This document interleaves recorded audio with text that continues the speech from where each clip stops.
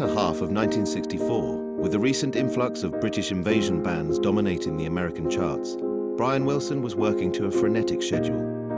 The overwhelming popularity of British acts had presented him with a formidable artistic and commercial challenge, and he had sought to meet it head on. The Beach Boys' All Summer Long was followed by both a live LP and a Christmas record.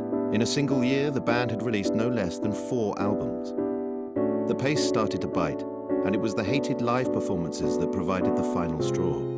On a flight from Houston during the group's winter tour, Brian suffered a fully fledged panic attack. In the aftermath, it was decided that he would no longer appear on stage with the Beach Boys, that he would receive the long-sought freedom to remain in the studio and complete his work unfettered, and that a permanent replacement in the form of Bruce Johnston would join the touring band. Brian had all these jobs.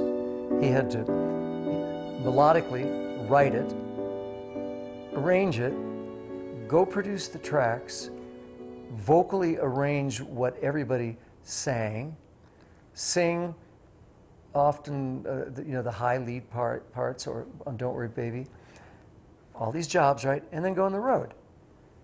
The guy, uh, you know, if he had kept up that pace, he wouldn't be alive today. So somehow he gets Glen Campbell to fill in for three months, and then I, I come along. I just probably got in there and he didn't have to go on the road anymore, and he could be uber prolific and work with the wrecking crew. And so the band now came home to tracks without the burden of those, those jobs and especially being on the road. He made some great recordings. He was, you know, finally given that the leeway to be the, the studio guy, to be just in control of the music and the writing and the recording and the arranging and the producing that that was all him now even to the extent that he was being talked about it was on his own terms from this point on because it was about him as a creative artist, you know, not as a smiling pop moppet, you know, or sensation. So he could, uh, you know, he was in control to a great extent. And as long as he continued to make hits, then he was allowed to be in control. And Brian instantly applied himself in the studio with all the fresh energy of a liberated man. New sessions commenced in January 65, and the years spent in study and experimentation saw Brian arrive at a level of control room proficiency that could match, and indeed deliver, the further reaches of his compositional vision. He started like a kid, you know, and reached a lot of kids, and he was able to use that success to grow up in the studio musically quickly, you know, and and instead of the piano, the recording process became his piano. The, the, songs got better and better, and, and the music got better and better with with uh, with Brian. You know, as, as he felt more comfortable with us, and you know, as the years rolled by. There's no question that Brian was becoming more sophisticated. He wasn't afraid to talk to musicians. You know, he was a young kid. He realized that he could get up and say, you know, I want you to do this, and you do this, and you do this uh, which is kind of the way he would tell his brothers and his cousin, and they would, you know, sometimes say, "Nah, we don't want to do." That. You know, they were kids. But all of a sudden, Brian was now with all these pros, and he was getting what he what he wanted. Brian was in control.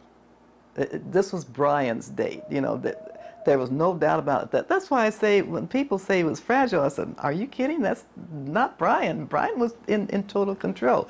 And he felt that way at that time, too. Brian was the guy. He was the designated producer, you know, this great creative guy with the authority of General Patton. He was so clear sounding. It was a pleasure to work with him and know him in those days. From my point of view, I like his production better than if he could do it now starting as a young guy because it was so musical. He had to get it.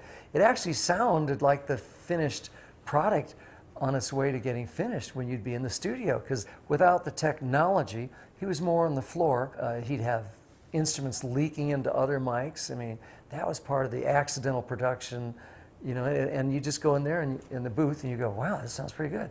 And then Chuck Britz would have things ready. Hey, Brian, what do you think of this? What do you think of this?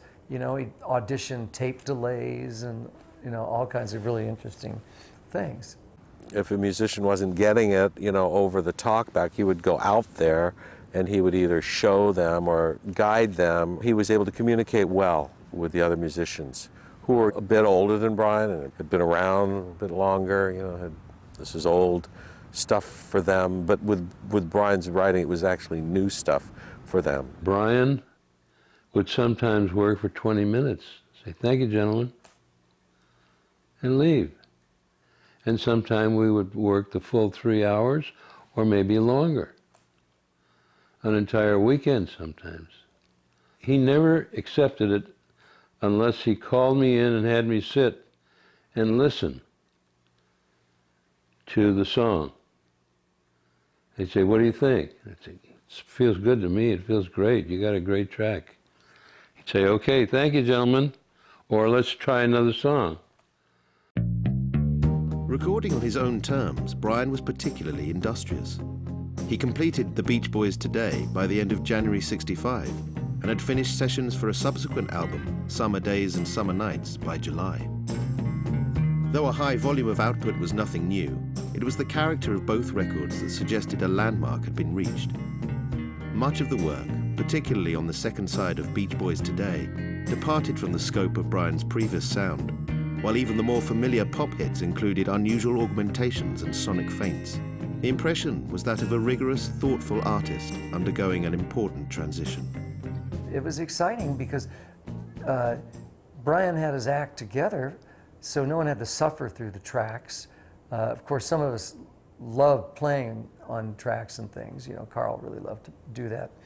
Uh, so it was fun. You're, you're red hot, you come off the road, and you're getting used to Brian having some great melodies, and Mike's like a runaway fax machine for lyrics. He just he began to have different kinds of experiences, experimenting with marijuana, becoming a very enthusiastic pothead, experimenting with LSD to a small extent, not nearly as much as ultimately people would say. Um, his, you know, the doors of perception swung open, and suddenly, you know, everything was up for grabs. Suddenly, there were no boundaries whatsoever. Whatever he had been told about the limits of pop music, he just ignored altogether. And that really began to come out in the early months of 1965. I mean, the tunes that you can hear on the Beach Boys today, that suite of love songs on the second side that are very pensive and poignant and musically sophisticated. He takes side two of the Beach Boys Today album and totally dedicates it to ballads, but really strong ballads that have a thick sound with his bass playing, especially being prominent. Um, he takes the vocals and he does all kinds of jazz layers on it, like a song "Kiss Me, Baby," which is really more of a jazz tune than a rock and roll tune, you know. But it's one of those real interesting early fusions of jazz and rock and roll, you know. Uh, he takes that Four Freshmen thing and spreads it out.